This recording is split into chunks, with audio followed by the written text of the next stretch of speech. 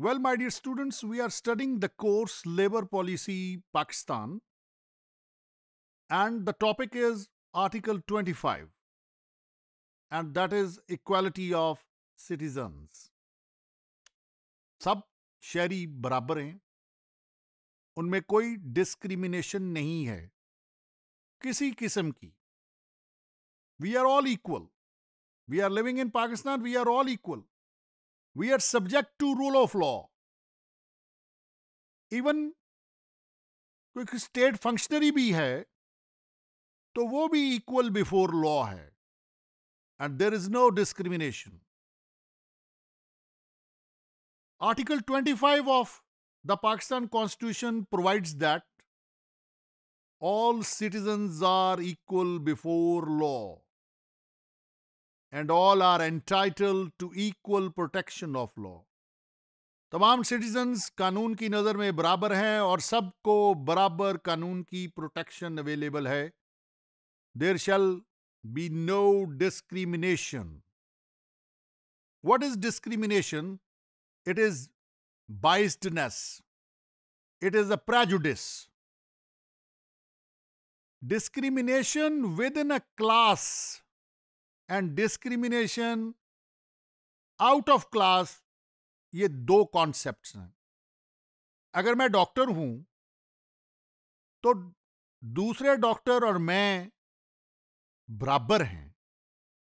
लेकिन अगर मैं डॉक्टर नहीं हूँ और दूसरे डॉक्टर हैं तो ये क्लासेस का फ़र्क है।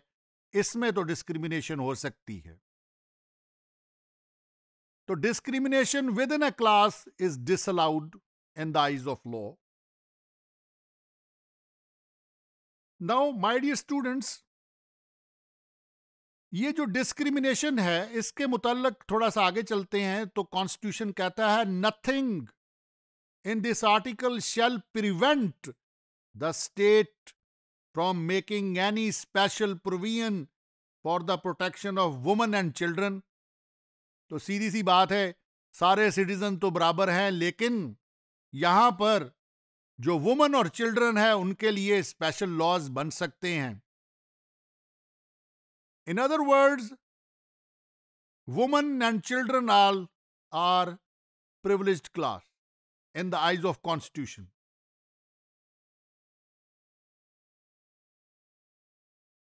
Elimination से मुतलक एक इंटरनेशनल कन्वेंशन है।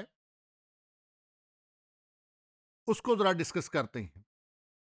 Elimination of all forms of racial discrimination was agreed in 1966 अब कन्वेंशन क्या होता है?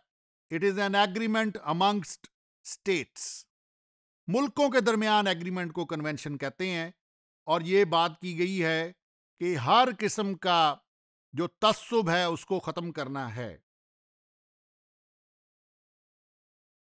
एक और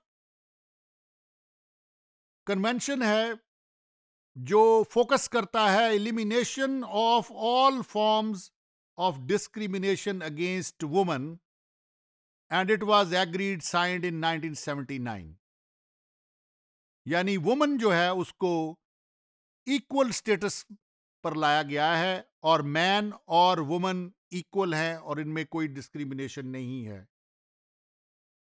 My dear students International Labour Organization adopted a convention on equal remuneration of equal remuneration for men and women workers for work of equal value in 1951 तो International Labour Organization ने man worker और woman worker के दरमियान discrimination खत्म कर दी है कि जहाँ पर दोनों ने एक ही वैल्यू का काम किया है तो दोनों को एक ही रेमोनोरेशन दी जाएगी।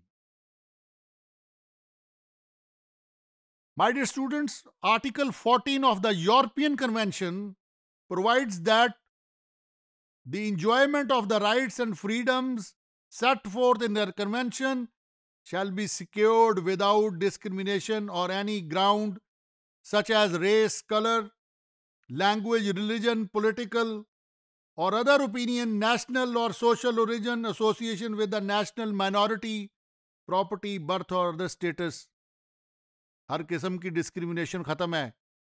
और जितने पेरोकियल बातें हैं प्रेजुडिस बातें हैं on the base of religion race colour political background etcetera सबको यहाँ पे शन और अवॉइड किया गया है। एक और बड़ा ज़बरदस्त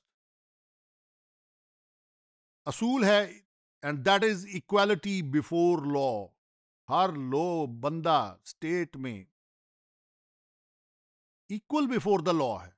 No one is above the law there is no privilege class my dear students the expression equality before law is taken from the English common law.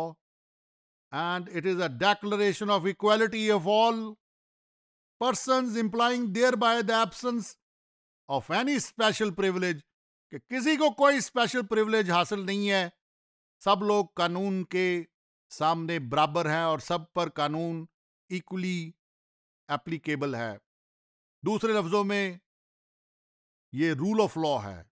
Hope you have understood the topic thank you very much